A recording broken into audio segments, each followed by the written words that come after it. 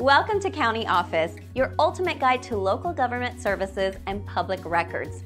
Let's get started. Do I qualify for a loan modification?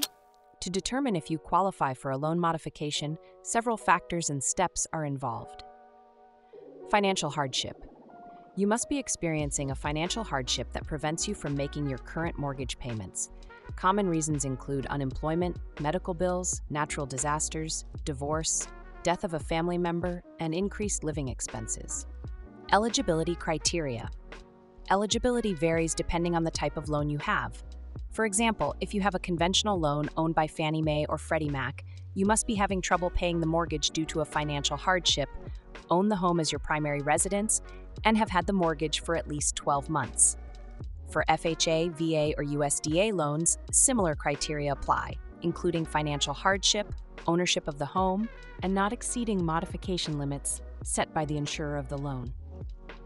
Required documentation. To apply for a loan modification, you will need to provide extensive documentation.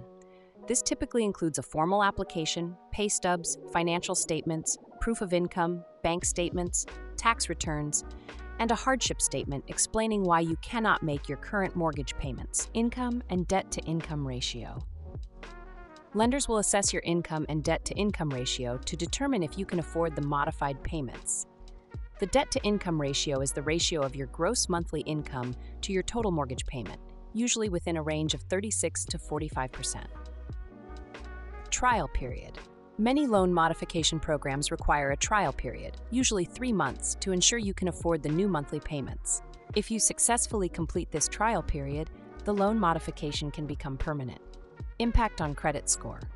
A loan modification can have an impact on your credit score, as some lenders might report it as a debt settlement.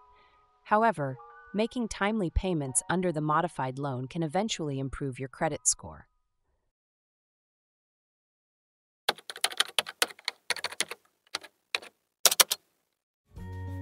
To learn more, check out these links, which you can click in the description below.